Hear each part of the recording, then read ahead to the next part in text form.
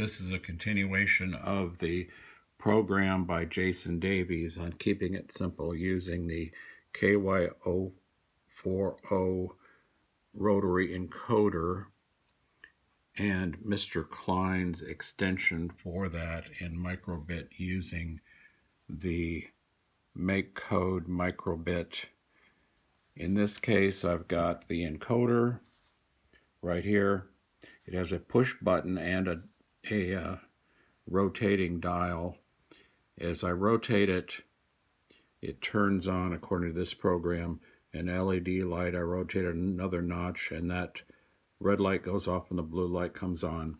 Another notch, blue goes off, yellow comes on, another notch, yellow goes off, and green comes on. By pressing the button on the encoder, it turns off all the, the remaining light, and then you can go through the process again.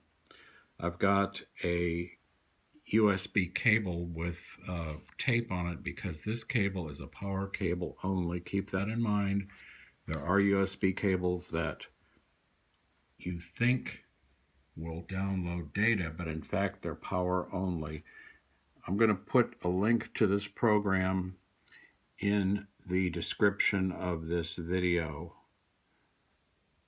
I've had to turn off first on start LED enable turn it off because if you don't do that then when you plug in your LED lights there'll be some voltage that dribbles through to some of these pin numbers. What that means is you can't see the progression of these LED lights on the microbit display because they're turned off.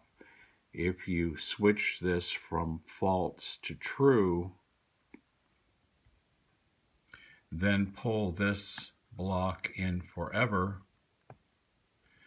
now the LEDs will not really function properly, but you will be able to see the progression of this light across the array on the microbit. This array right here will show lights with the configuration that I have now. So you can test that yourself. I'll upload this video now with a link to the uh, code.